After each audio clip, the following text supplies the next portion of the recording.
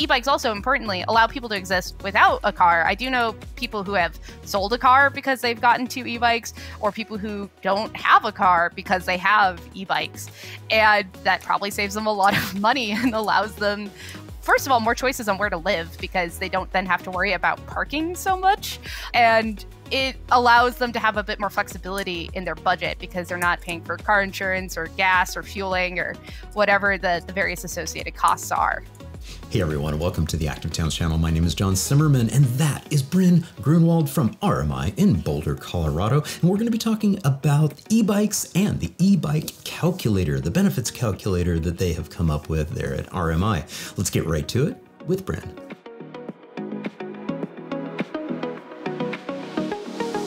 Bryn, thank you so much for joining me on the Active Towns podcast.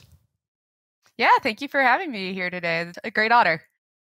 Well, I uh, am super stoked to chat with you. Uh, you are my second RMI person to, to have on. Uh, I, I did have Ben uh, Holland on the audio only version uh, many, many years ago, or I shouldn't say many years ago, a couple years ago. Anyways, in fact, I was in Boulder and, and we did that uh, that interview in person, so that was a lot of fun. But why don't I have you just kind of give a real quick snapshot introduction? Who is Bryn? Well, my name is Bryn Grunwald. I am a senior associate on RMI's carbon free transportation team, where I do a lot of work primarily around e bikes, micromobility more broadly, and shifting people out of car trips and onto other forms of transportation. I'm from Boulder, Colorado, and I continue to live in Boulder, Colorado, where I think it's a great example of micromobility broadly because Boulder makes it a very easy place to not have to own multiple vehicles. My partner and I each own an e bike and share a car, a 2010 Toyota Camry, and we're able to get around pretty well with that, uh, which I think has represented a lot of savings and just also options to the two of us. More broadly, I'm into a lot of things like hiking, reading, and just generally being pretty active. So this kind of podcast is great for that kind of discussion. Fantastic. That's great. And uh, yeah, that's all. I, am always uh, fascinated and uh, delighted to interview people who are from the Boulder area. And, uh, and, and you and I you were talking about this before we hit the record button that I used to live in Boulder. I was there in the mid 1990s to uh, just about 2004 2004, 2005 ish, uh, before moving to Hawaii. But um, talk a little bit about that growing up in on the Front Range area there in Boulder. And uh, you, you mentioned before we hit the record button that, yeah, you used to get around all the time by bike and uh, originally acoustic bike and then now an e-bike. So what was it like uh, growing up there? Honestly, for me, it was really nice. Boulder has a lot of off the road bike paths. And I think that, I mean, now we know a lot more about the right types of bike lanes and whatnot. But growing up, Boulder was sort of the leader in terms of bike lanes. And it was really easy to get around. This isn't a very huge town. It's about 25 square miles. So it's pretty easy to bike from one end to another, which I think represented a lot of options to allow young Bryn, little baby Bryn to explore. So starting from like age 12 onwards during the summer, I would just take my my bike, an acoustic bike. It was a Trek bike, uh, and I would just sort of bike off by myself. Right, like I had a little Nokia phone. It was one of those that could survive being hit with a sledgehammer and be okay. And that would take 20 bucks and then I would just go to the library for the the whole day and then bike around when I went to high school, I went to high school in another town, so I would have to go catch the bus at about 6:50 in the morning to be able to make it. But as I had a single dad, he had to deal with my younger siblings, so I would bike myself over to the bus stop, catch the bus, take my bike out, and then uh, manage getting home by myself. And this had a lot of, I think, great uh, consequences for me. Consequences isn't quite the right word. Benefits. I had a great mental map of Boulder from a very young age. It was pretty easy for me to figure out, well, I'm here and I need to get here. What's the best ways to do that? And then I also had a lot of independence. And I think it really I kind of uh, like growing up. I then watched the show Old Enough, and I kind of felt like this was the most American version of Old Enough because, as I had a single dad, sometimes it was really valuable that I could bike off by myself, even as a, a middle schooler, to go do things because my dad could then be like, "Hey, I'll give you some money. Can you go by the grocery store and pick up milk or something we need for dinner?" And I would be able to go do that. And as I got older, this worked out for going to high school it worked out for running uh, errands for myself that I needed to run, or when I uh, like as I got even older, going to my own doctor and dentist program or appointments by myself. I found it so easy to get around by a combo of bike and bus actually that I didn't really bother even thinking about getting my driver's license until I was about 21. I was pretty actively anti getting my driver's license. I really did not want to do it. And then I got my my partner and I was like, eh, I probably need to learn to drive so we can go on dates together. well, you could. I mean, you know, the, the era of, uh, especially with e-bikes, which we're going to talk about uh, quite extensively in a little bit, the era of uh, e-bike dates are is really starting to proliferate. And uh, I know we our, our particular e-cargo bike, uh, we have it configured so that there's a, an extra seat in the back, and so you know. I could always yeah. put my partner Laura on the back and say, "Okay, let's go. Let's go out to dinner." Yeah, unfortunately, at the time it was a, a star-crossed love because I lived in Boulder and he lived out in Erie, which uh, Erie's another small town which doesn't really have great bike access. So I was like, well, if I want to see this par- person, guess I have to drive. so yeah. uh, that that is how transit makes, or or that is how a lack of quality transit makes love hard. Yeah, yeah. So I pulled up the uh, the map of Boulder on screen here to to give the viewing audience just a little bit of a, a of a visual to uh, the fact that yes, uh, you know Boulder. I think the joke has always been that you know it's like this, uh, you know whatever it is 25 square miles or whatever you know surrounded by in, in a bubble surrounded by reality and but in reality uh, you know boulder one of the things that they did was they had, uh, you know, a, a, development boundary line uh, that sort of went around the entire city. They, I think, at the time they called it a blue line um, in the city limits, as we see it here represented in the contiguous area here in the red uh, hatch mark, really is sort of that development you know line which has put constraints on the amount of housing certainly. And then of course you add on a layer of um, uh, zoning codes and all that. It puts even more pressure on uh, uh, affordable housing and all that sort of stuff. But to the point to your point is it's not very big. You can get from you know from top to bottom, which is the longest length of of the city, you know, on an easy bike ride, it's not that hard to do, and uh, it, and whether it's a, an acoustic bike or an electric bike, it's it's very very doable. What I think is so cool about your story, though, too, and I can attest that this is this is a real thing because I lived there for a decade, and I spend a couple months in Boulder every year. I I spend a lot of time in Boulder and have uh, even when I've moved away. Is that yes, the kids use transit. They totally do. When I jump on the bus, because sometimes I'll be in town and won't have access to a car, I'll just have my bike with me. But if I need to go somewhere by bus, I jump on the bus and I'm like, oh, look at this. I've got middle school kids, I got high school kids, I got college kids on the bus RTD getting around town. The, the, they have a couple of the bus lines that are named fun things like the hop and the skip and the jump and all that.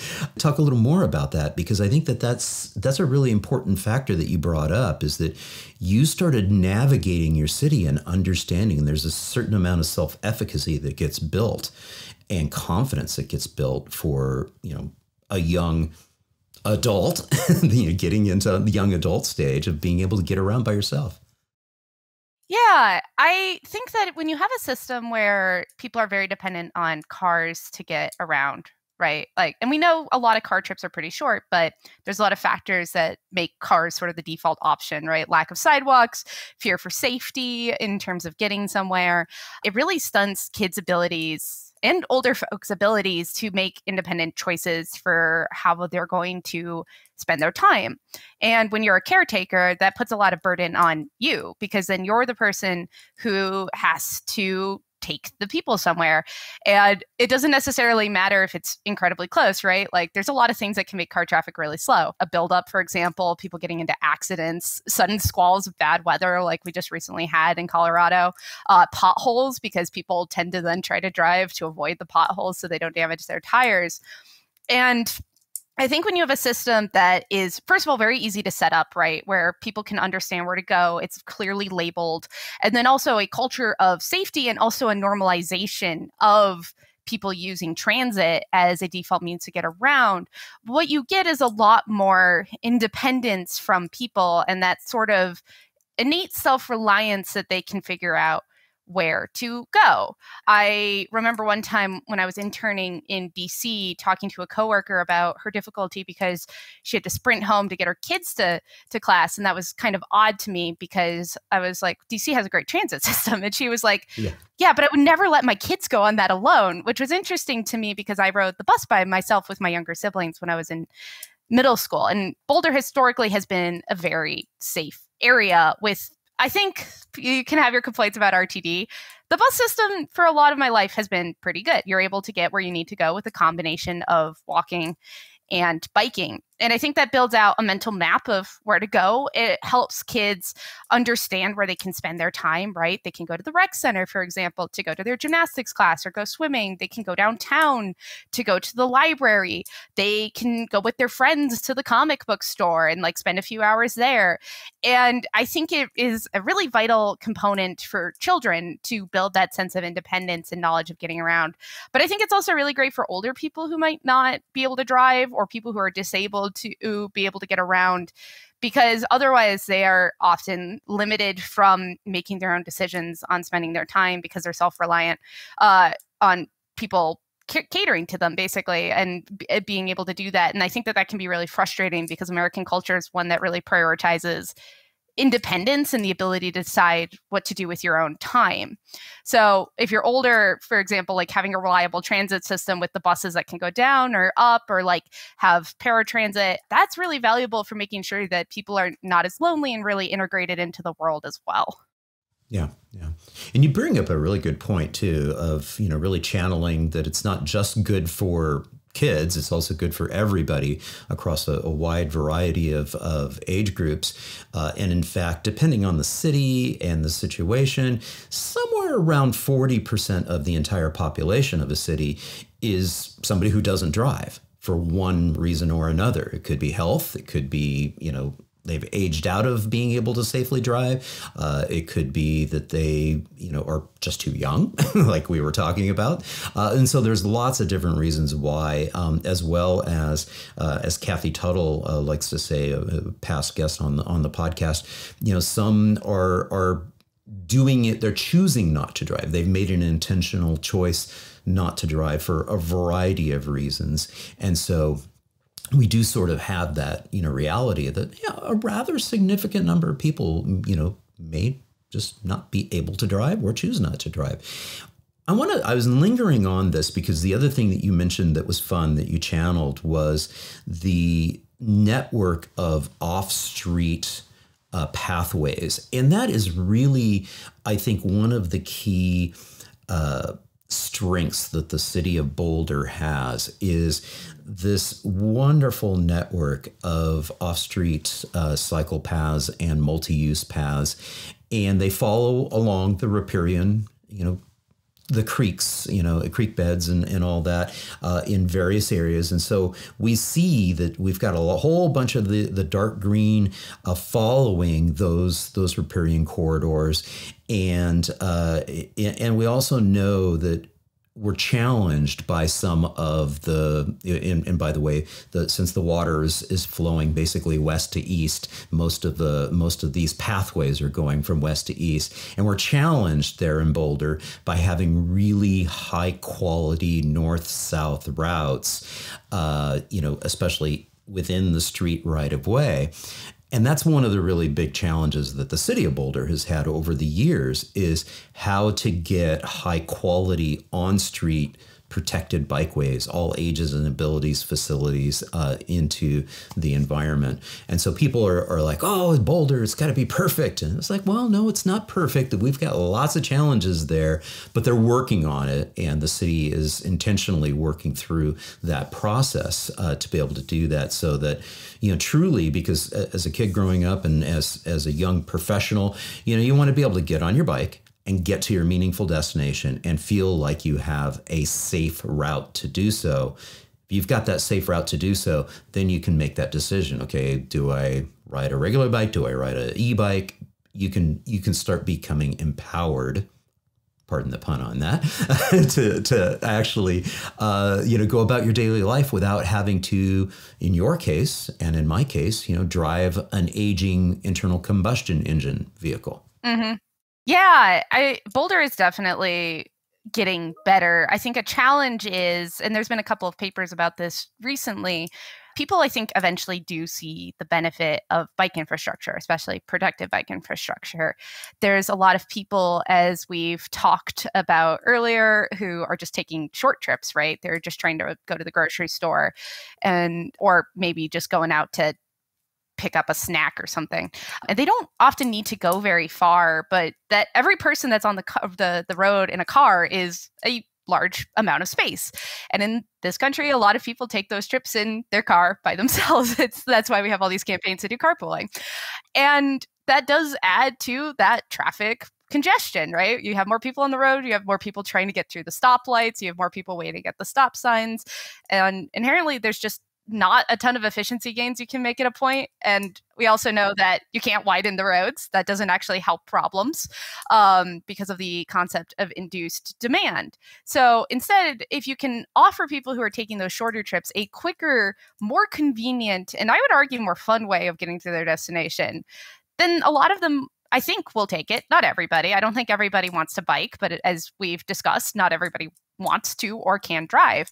And so getting even like 15% of cars off the road all of a sudden means that you're going a lot faster, even if the uh, road is a little bit more narrow because all of a sudden you've protected that bike lane so people are much more secure making that decision. There's been some great work looking at willingness to cycle and I think a majority of people are interested in cycling, but have legitimate safety concerns. Not a lot of people want to do the vehicular cycling where they're basically acting as a car, but on a bike. And so the more we protect people, give them the option to make it a safe way of doing it and say this is going to be fun this will save you money and it's not going to be any more difficult. I think that eventually that will bleed over into the people who see oh we built this protected bike lane but all of a sudden my wait time went down by two minutes. Uh, i'm all of a sudden able to get through this traffic light. That i think has a great impact on people that especially with like because people are more willing to bike uh, more often and farther when they have an e-bike that really does help get people off the roads and into other modes of transportation making space for the people who are continuing to drive or taking a bus or some other mode where they're in the road in a vehicle that has some sort of stronger engine.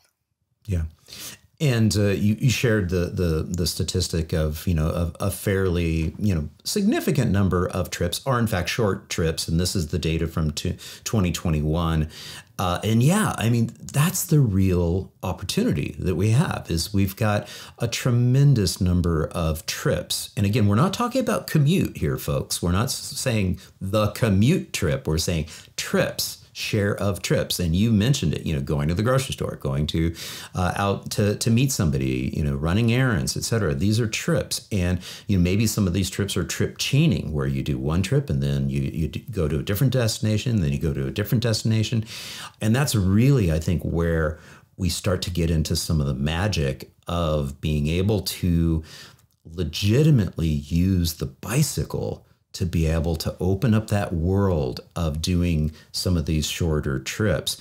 Even more empowering in my mind and, and more convenient because of a sense of agency that you have to control your own schedule than transit necessarily. I see transit being super, super powerful for a lot of those sort of routine trips that we're doing. Like, for instance, when I lived in Boulder, I, I worked in downtown Denver. And so I would you know, every day get on what was then called the Boulder Express and ride from my nearest, uh, you know, bus stop, which was a walking distance from my home, uh, and then make it down to what was then the Market Street station, and then walk the rest of the way to my office, which was in one of the uh, was like on the 38th floor of one of the towers down there. But yeah, so I mean, that's one of the things that is so exciting about this new sort of, and I say new in quotations and scare quotes here, opportunity with the e bike is that it empowers, I think, more and more of these short trips to be handled uh, for these daily trips. Yeah, it really overcomes that barrier where you're confronted with a hill and you're wearing a nice shirt and you're like, oh, I don't want to bike up that and sweat. But all of a sudden, if you have an e bike, you can just kick up the power and you can get up that hill no problem. It also makes it much easier to haul things, right? Which is a result of trip chaining, right? When you when you're doing trip chaining, often what you're doing is running a bunch of errands in sequence. So for example, you're going to the library, you're picking up groceries for dinner, and then maybe you're picking up something from I don't know, another store along the way home. If you have the ability with a bike to be able to all that easily, I think that that becomes a lot more promising. Which, if you have a, an acoustic cycle, it's definitely a bit more of a workout. But if you have an e bike, you can just address the power upwards and uh, count for that. So I think it really reduces that barrier to being able to handle it, which I think is a really powerful thing. E-bikes or biking has often been one of those things where you're, especially in Boulder, where you're you're viewed as being an exercise fanatic and somebody who's really in shape. And I think that when I'm on my e-bike, I don't really view it as be exercising, although that is a nice uh, side benefit of it. um, I view it as I'm trying to get somewhere. And just because I don't have a second car, and usually my fiance has the other one, and because Boulder has so many off the road bike paths, and often I'm going to places where I specifically hate the parking lot, like Trader Joe's, it is faster and easier for me to just handle it by a bike, especially because in Boulder, a lot of buildings are required, it's in the building code, are required to have bike parking nearby. So I think, especially in hand with building out solid bike infrastructure that feels safe and reliable to people, if we provide bike infrastructure for parking your bike that's right by a shop, also near a security camera so that way people have uh, less fear of them getting stolen for example that all of a sudden becomes a lot more feasible of an option because when I go to Whole Foods, I can pull straight up to the bike rack. I know there's always space versus when I have to deal with the parking lot, it just turns into a slurry of stress and fear. Right. Because yeah, that parking yeah. lot is designed confusingly. Yeah. Yeah, I'm actually glad you mentioned uh, Whole Foods there in, in Boulder because, it, I, and that's where I shop here locally too. I mean, I happen to ride my bike. I, I live very close to the Whole, Food, Whole Foods World headquarters, so the the flagship oh, wow. store, and, uh, and and I love it too because there's a, a wonderful a bike rack that's right up front that is almost always available for me. And so I pull right up and, and, park there.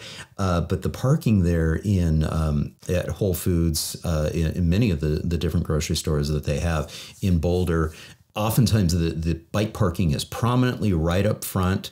In, in many cases, there's also a fix it station there, uh, a bike map there of the, the bike network uh, in the city. Uh, the same in Austin here, they, they have that prominently featured. So they're leaning into that, which is a great example of a bike friendly city or a bike friendly company that's like encouraging their patrons to actually show up by bike. We're going to have convenient bike parking. We're going to have some amenities for you and some facilities for you to try to encourage that.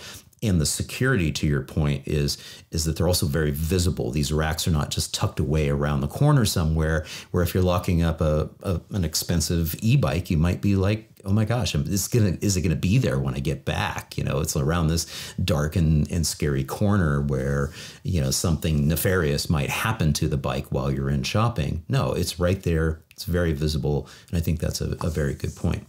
So we've got your landing page for RMI right up here on, on the front. We uh, did just a, a, a, quick introduction to it, but why don't you give a, a little bit of a thirty thousand foot you know snapshot of the organization itself and we'll we'll dive into you know a little bit of the work that you all are doing there Sure. RMI started in the 1980s by Amory Lovins, and he produced a lot of work that basically said energy efficiency is an undervalued tool and we should be trying to do more to take the climate crisis seriously.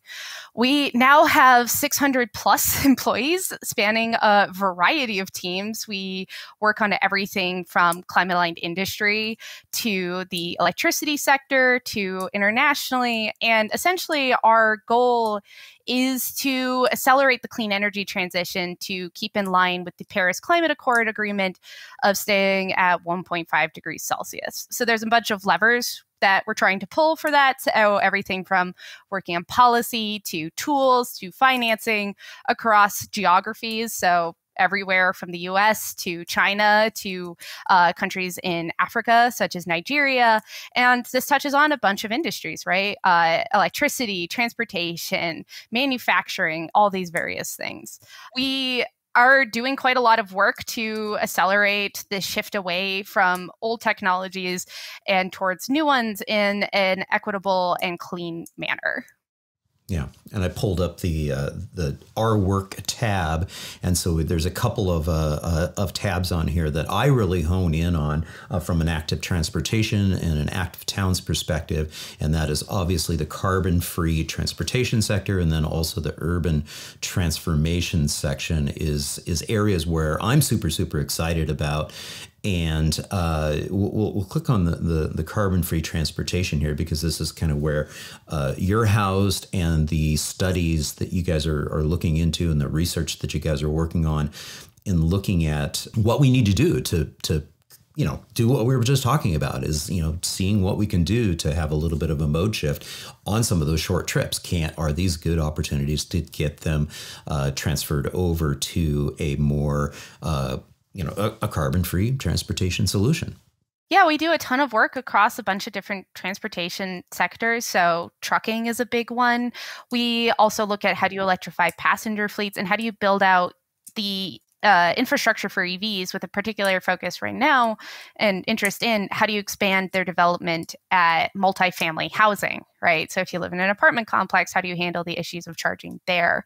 Uh, we also do a lot of work with e-bikes now and looking at how do we cut vehicle use because an e-bike consumes uh, much less power. So electrifying vehicles is very important. This is something we have to do. However, we have past analysis that shows that if we want to keep to the Paris Climate Accords at the rate that we're going, we not only need to continually electrify our fleet eh, while cleaning up the grid and making sure they run off of clean power, but we also need to reduce the amount that people drive, right? Power still produces uh, the the power still consumes uh, natural gas right now, coal, all these other things. And so every little bit that you can reduce is really valuable. E bikes, because they weigh much less than cars and because they take so few materials to produce, are incredibly efficient. NREL put out a study last year, I believe, that found that e-bikes produce 99% fewer operational emissions than a gas car per mile. So I don't think that this is going to solve all transportation problems, right? Nobody's going to be biking 30 miles to their Costco one way. Um, well, one person might do that, but uh, I think for a lot of people, it is going to be this proportion of short trips, and that's going to have a huge benefit for their finances, but also for the climate because it is such a less intensive me- means. And it will also allow us to build out the grid in a more safe and reliable way. E-bikes just don't take as much power and they again they can't get you as far, but for the short trips, you don't necessarily need as much power. Yeah. Yeah. And I pulled up a, a couple of different posts here, um, so we'll we'll include the links uh, to all of these uh, these documents uh, in the show notes uh, for the audio only version of this episode, as well as in the video description below um, here on YouTube. Um, and so, folks, you can dive into some of these uh, additional uh, documents and, and, get to some of the research as well as this these particular blog post, uh, you sort of channeled a little bit of the impact on um, uh, on you know emissions and, and things of that nature. And we, we do know, and, and this is what's being mentioned right here uh, in, under point two, is the assessing the impact specifically of uh, looking at the city e-bike incentive program and, and the various things and really getting to the the sort of the the the the, ba- the benefits that we see from an emissions perspective and um, because one of the things I like to say here on the channel is that yes, we need to electrify the the motor vehicle fleet, but we also need to reduce the number of motor vehicles out on our roads. And one of the reasons that we say is that we know that um, specifically the particulate matter, the PM 2.5, um, uh, that comes primarily from, not completely from and only from, but primarily from, uh, you know, issues surrounding, you know, tire wear and brake, brake pads and things of that nature. Um, these are incredibly bad for our health and well-being. And so to your point, you sort of alluded to it, is that you know the the bike or the e-bike is a much smaller vehicle. And so the negative impacts, the negative externalities of what little bit of tire wear and what little bit of brake pad wear that we see on a bike is not even comparable to what we see on extremely heavy, uh, especially the current trend of the electric vehicles, the cars that are being built, the very super heavy uh, electric uh, SUVs and whatnot. Um, yeah, we need to electrify that fleet, but we also need to decrease the number of vehicles. So I, I, I like to kind of emphasize that too, is that the the e-bikes and the bikes are yes. yes, I would concur with that. My master's degree in college, I did a thesis associated with it looking at air quality and took several air quality, uh, air pollution control classes. So, reducing particulate matter is something that I'm particularly interested in. This has a ton of negative health impacts. It increases your likelihood of stroke, it increases your likelihood of heart attack. And uh, it's also just not great for the general environment. It seeps into the water as microplastic waste, and that also then proceeds to get inside of our bodies when we drink water, consume produce, for example, that was watered with this microplastic food. So e-bikes are not necessarily 100% PM 2.5 free. I don't know the exact numbers because I don't think there's been a study that looks at this, but they produce far less. It's not as heavy as you you are you can it, it would be extremely challenging for a person on their e-bike to weigh the same as a vehicle and then achieve the speeds with the stopping power required where you would see similar production of particulate matter i would imagine. So you would see i believe an, overall reduction in this pollutant which would have really positive health impacts. And that's not even to get into the impact of the uh, exercise for that you would get. E-bikes are not uh, as e-bikes are not as intensely an exercise as acoustic cycle, but that's part of why people get on them more. And uh, research has found that they are the equivalent of achieving a light workout, which for a lot of people would go very far in towards meeting the health and exercise goals that are outlined by the CDC, the Center for Disease Control.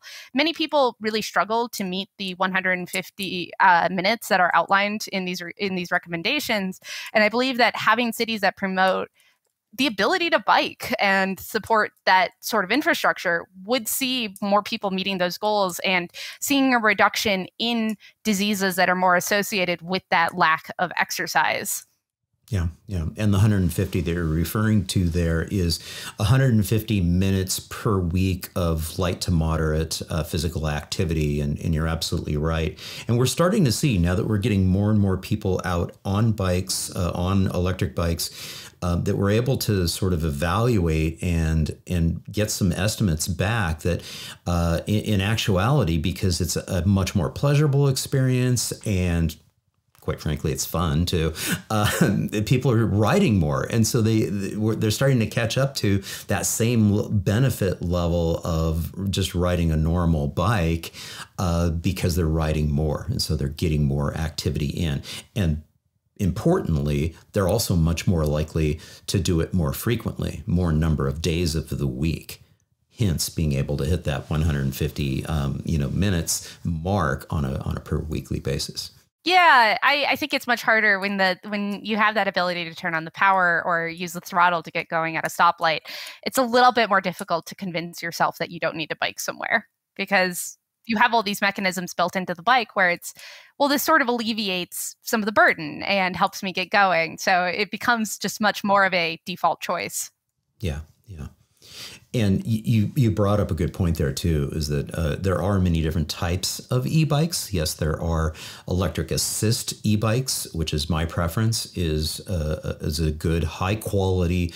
My preference is a, a Bosch powered uh, electric assist bike because I know that that's a UL rated um, motor and battery system, which is much less likely to have uh, fire uh, bursting capabilities and challenges with it. And and uh, and I do appreciate that boost to get up a steep hill, but at the same time, um, you know, if I can just tone it down a little bit and use more of my own power versus uh, you know using a, a, a, throttle necessarily. So, um, in fact, I don't think I've ever even ridden a, a, throttle bike, or if I did, I turned the throttle off because it was just like, oh, this is like a motorcycle to me my bike has a throttle on it. Um, so I use that when I'm waiting at a stoplight, for example, to get moving because it helps me get going. Uh, because often at streetlights, you get the walk signal and the light stays red. And then there's a very short time period for you to get into the road and make sure you're visible. So for me, at least, having the throttle helps with that. Uh, but I think it just really depends on the type of person, the the type of bike. I, I think it would be interesting down the line to see research on how do people use the different energy settings on their bike. Right, a lot of these bikes do come with varying levels of power output. So mine has everything from eco mode, which largely offsets the weight of the bike, to level one, level two, and then sports mode. Right. I've yeah. never been in sports mode. It's a little it's a little aggressive. Yeah, yeah. I think our, our my the Bosch system uh, has you know four main uh, systems. Uh, I think it's Eco, Tour, Sport, and Turbo. And I pretty much only use Turbo when I'm going up a really really steep hill. And boy, do I enjoy having that because it's a very very heavy cargo bike. So that's good. So we're we're hanging out here on the um, the blog post from uh, October twelfth, uh, twenty twenty three, just this past year about the calculator. Talk a little bit about the e bike impact calculator.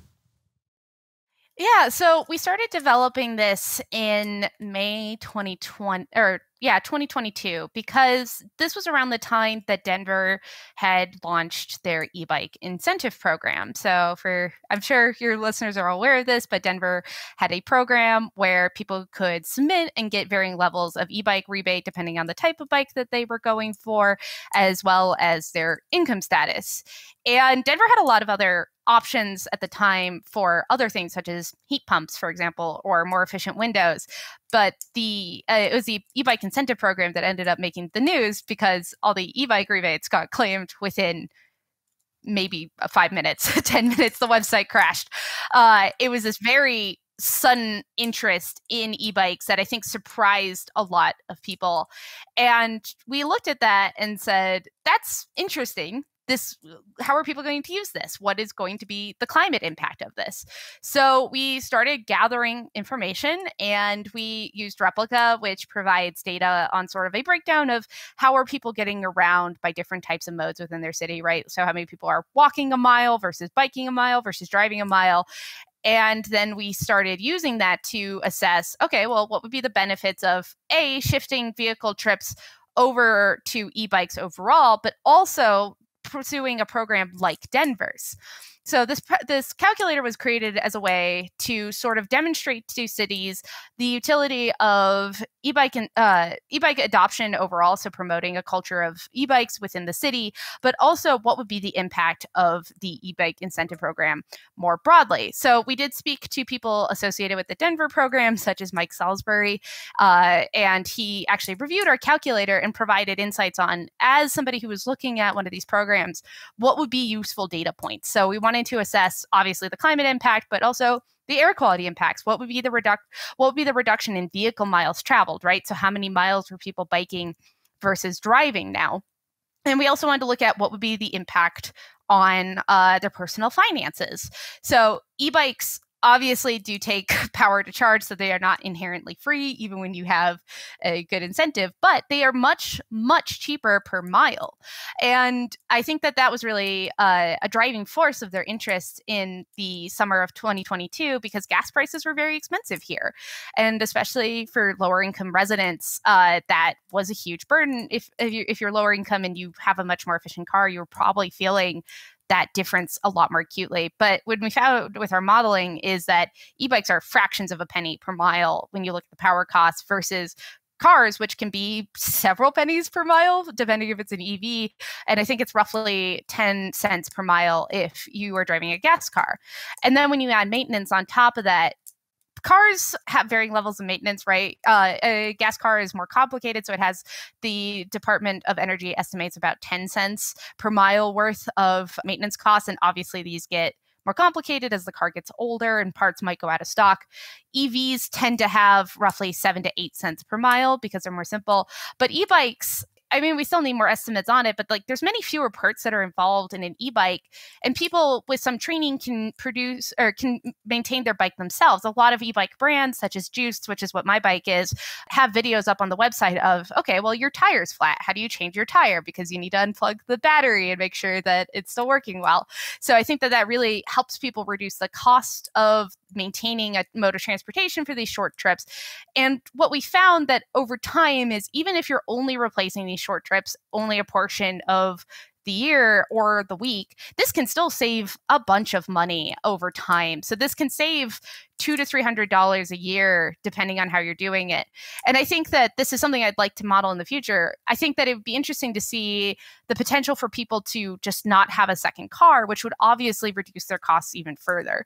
I think that both of these things just show e-bikes can be really beneficial for the climate can be really beneficial for people's wallets and can be really great for their cities. And so with the e-bike calculator, we really just wanted to compile all of that data into one easy to use source so people could see what would be the value of doing it themselves. And so far, I think it's been very valuable. Uh, I, have talked to the city of Atlanta a few times who've used this calculator for their e bike incentive program, and I've had some cities reach out to ask to be added. So I think that there is a real desire to understand what this impact would be. Yeah.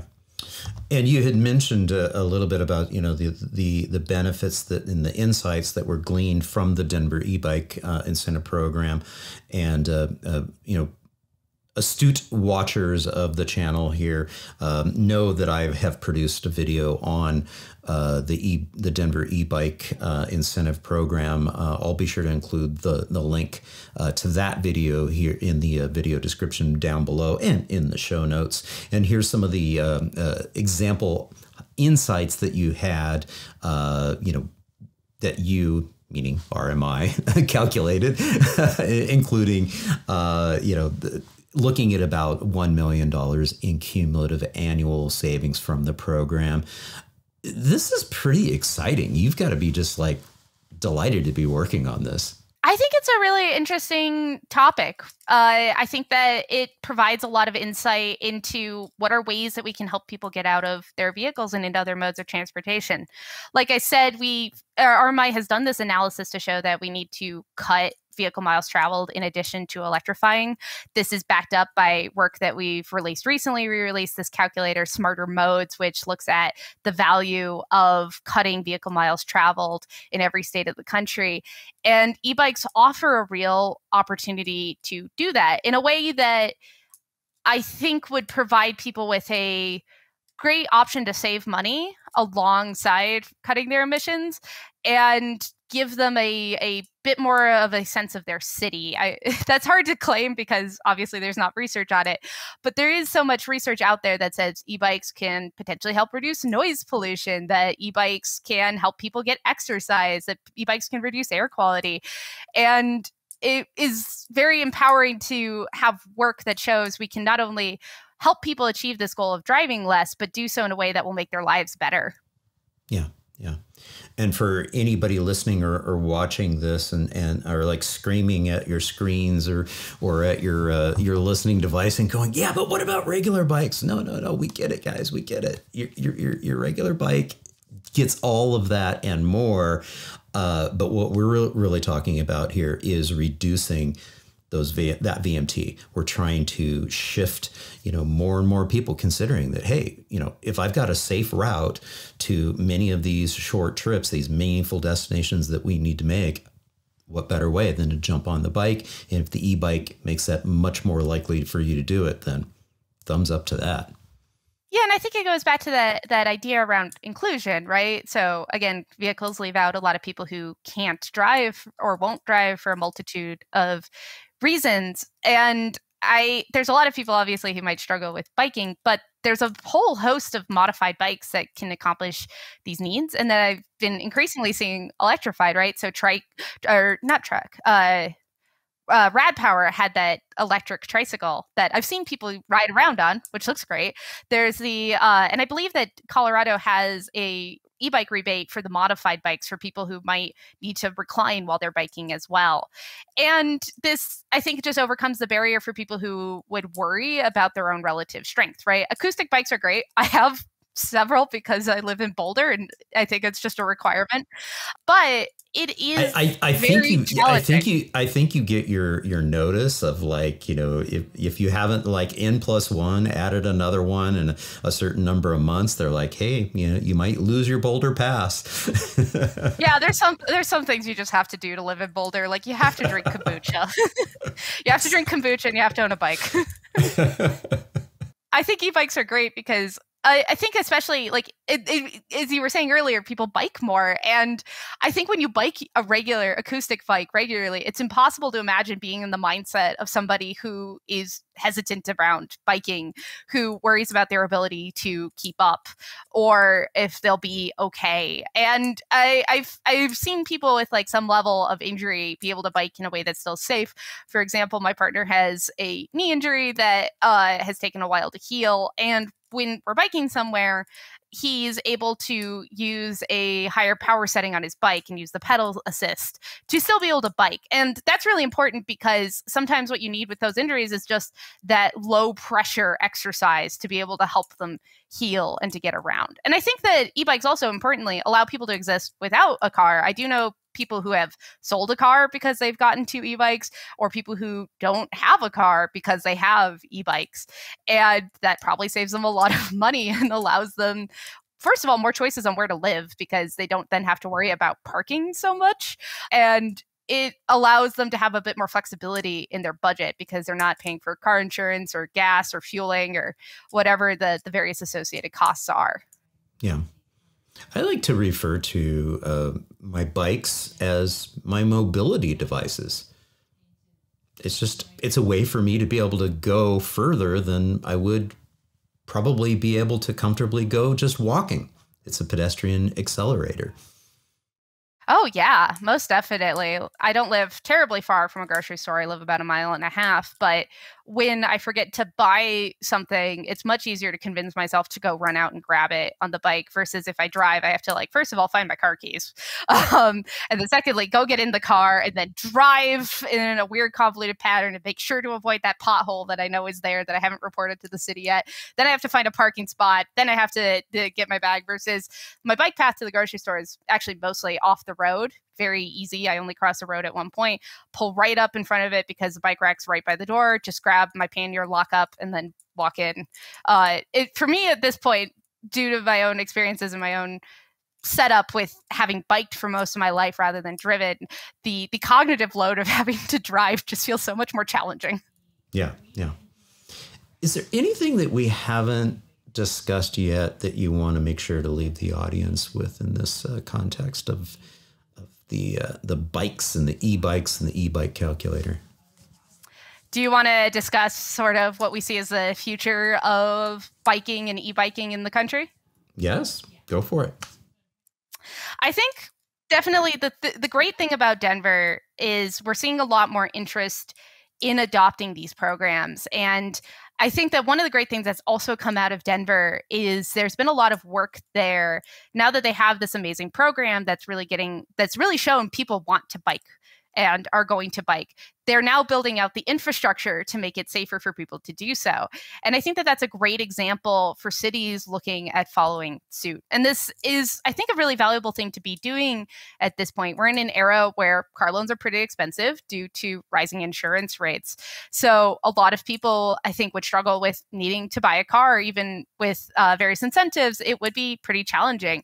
But getting an e bike with an e bike incentive offers them the ability to start saving money and electrifying their trips now, dramatically reducing their emissions and cutting back. And I believe potentially too, if they're doing that, if they have that that ability to save and that ability to use a safe means of electric transportation, they would then be able to save for a safe, reliable electric vehicle to replace an older car because they would not be as hindered by fluctuating gas prices. Again, it's not going to like replace all your trips, but it can replace a good number of them, which can add up to a couple hundred dollars per year depending on what you do or even more if you're able to drop down from two cars to one car and two e-bikes. And that really provides an option to, I think, provide some financial stability to people and allow them to consider what modes of transportation do they want moving forward, what works best for them, what allows them to get around safely, to engage with their city, and then they have the space to mentally plan and and think about what are the things they want to be doing next. Yeah. And you sort of uh, alluded to this uh, graphic uh, earlier in, in talking about the fact that, yeah, what we're really talking about here, we're not talking about trying to build out the network for, you know, the the highly competent sport riders and recreation riders. We're really looking at that vast majority of the population that would ride more frequently if it was safe to do so. And we call those, and we have been calling those ever since Roger Geller uh, first did this this research out of Portland, uh, the interested yet concerned part of the population, where you know they would ride more if it felt safe to do so. And that's a really big opportunity of getting more than just you know that that one to five percent of of the population that would will ride uh, you know, regardless of the facilities that are there and the environment that's out there. So that's a really big opportunity that we have. Yeah, in RMI's work, we put all the numbers in the calculator on the weekly level because we wanted to make the point of you don't have to do this all year round, right? It would be incredibly challenging to bike in Minnesota in the middle of winter I presume. It's presumably very challenging to bike in Florida or Arizona in the middle of summer. But if you were only able to do this for roughly six months of the year, that still has tremendous potential to save people money, to cut this emissions, and to uh, just help people get that exercise in and cut their transportation emissions overall. I think can often feel like we're prescribing it as this is something that needs to be done 24 7 all the time. But I think that it's one of those things that, like, as you can do it, it will be a benefit for many different aspects of the world and your own personal life. Yeah. And you mentioned that you're really talking about these things in terms of that weekly sort of view. And uh, we see the, the top 10 uh, cities in terms of the size of population on here. And uh, as we can see, my current city of Austin, Texas is in the number 10 spot. And yeah, this is exactly what the city of, of Austin is really working towards is, hey, how can we, um, you know, offshift some of those very bikeable distance you know trips to something other than a single occupancy vehicle? Can we get people, more people walking to their meaningful destinations? Can we get more people riding a bike? and taking transit, you know, to their destinations. And we can see here that uh, you know there's a nice little uh, opportunity when we look at 47% of our uh, trips, you know, from zero to five miles. And I would even say that, you know, when we start to look at the power of a little bit of an electric assist boost, you start, you know, creeping your way up into the five plus because suddenly, you know, one of my, my trips that I frequently ride to is like seven and a half, eight miles away. And I don't even bat an eye. I would never drive on that trip, but I know that it's that much more uh, feasible and comfortable. Oh, and by the way, because I have a safe and inviting all ages and abilities network to ride on, which you guys uh, reference and, and, and channel uh, the Dutch Cycling Embassy and the cycling infrastructure, it's a great equalizer to the weather. Because when I know I've got a safe and inviting environment to ride in, I know that I can, you know, create a little bit of my wind and be able to, you know, enjoy that trip, even though it's like 107 degrees out, which we get here in Texas. yeah, I think that states are uh, states and cities are showing a lot of creativity, and I think strength in moving forward on how they want to do this. I'm very excited to see what Denver continues to do, for example, with their program. And I do want to say this too about winter because, uh, you know, obviously in Denver, in, in Colorado, in Boulder, uh, and you mentioned Minneapolis in the wintertime. Yeah, I mean, these are cold places. These could be very snowy places. Hopefully, they will continue to be snowy places. Um, but yeah, people still ride in these environments if they have a safe place to ride, if they have a safe network. And one of the profiles that I absolutely loved uh, doing a couple years ago was on Oulu, Finland that has an, an, extensive off-street network of pathways and you know they're very close to the arctic circle and so what they do is they just have a, a very fastidious uh, path maintenance program that helps texturize the the snow the packed snow so that it's nice and grippy on the tires and they ride all year round in fact the kids ride to school at like uh, some astounding rate of 60 to 70% of kids ride their bike to school every single day. It's just, a, it's just amazing through the dead of winter. Yeah, Boulder uh, has great programs for in the winter. They often scrape off the off the road bike paths before they do the main roads. So which is great for me because when I go into the office, I am mostly on off the road bike paths. But with cold, it's often you just you need a, a, good coat, you need gloves, you need a face mask, and it is fairly possible because once you get moving, you warm up pretty well. Our our bodies are pretty good at stabilizing our internal temperature when faced with cold. Yeah. And just to give some love to Boulder too, since you grew up uh, in Boulder, it is one of the places in North America where I have documented uh, over and over and over again just incredibly high rates of kids walking and biking to school. You know, some of my favorite middle schools are like the Centennial uh, Middle School and the Casey Middle School. You go there and their their bike racks have got hundreds and hundreds of bikes, you know, parked out there. So uh, it can happen, folks. If you're you're in a car centric place like in North America, city here, uh, or down in Australia, New Zealand, down under. It can happen, and, and really the magic piece to all of this is creating that safe, inviting network so that you know all ages and all abilities can, to get to their meaningful destinations. Well said yeah, that's my hope moving forward is that a lot of people will have that option to get to 21 and then sort of decide, eh, maybe I should get my driver's license rather than having it be something that you have to do if you want to go see your friends. Yeah. Bryn, this has been so much fun. Thank you so much for joining me on the Active Towns podcast.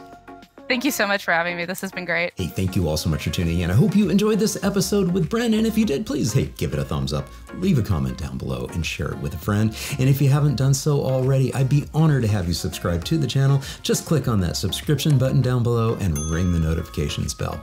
And if you're enjoying this content, please consider supporting my efforts out on Patreon, Buy Me a Coffee, YouTube. Super thanks! And buying things from the Active Town store. I've always got good stuff out there, like, you know, some good Streets Are For People swag. Uh, and you can also make a donation to the nonprofit. You can access all of that out at my website at activetowns.org.